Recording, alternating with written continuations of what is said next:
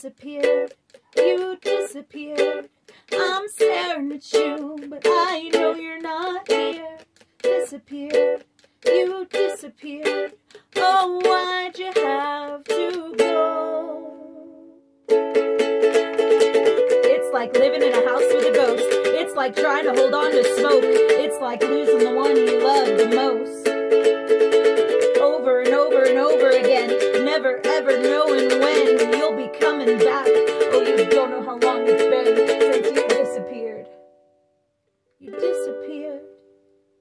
When I'm staring at you, but I know you're not here.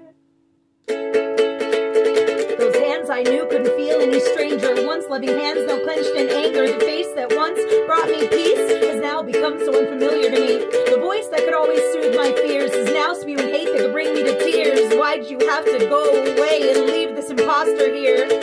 I'm so sick of this embodiment of hate. Walking around where my baby's face. Why do you let someone else come and take place? When you'll be the one waking up on a cot, facing the punishment for things you forgot. When you were lost somewhere in the dark, he was tearing your life apart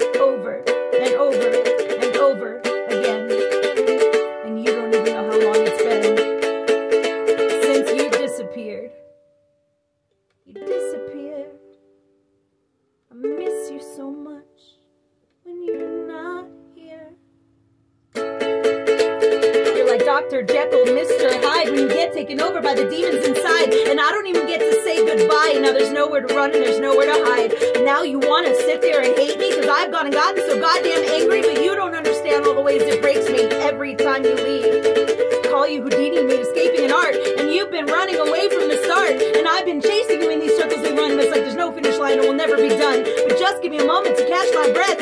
Maybe I'd smile if we could just take a rest. But sooner than later, we're back in this race. I'm getting too tired to keep up this pace. The future's too fast for us to catch. And we're going too slow to outrun the past. And every obstacle we pass, you throw another onto the path. So with the last for the bear that I've got, I call out to you and beg you to stop.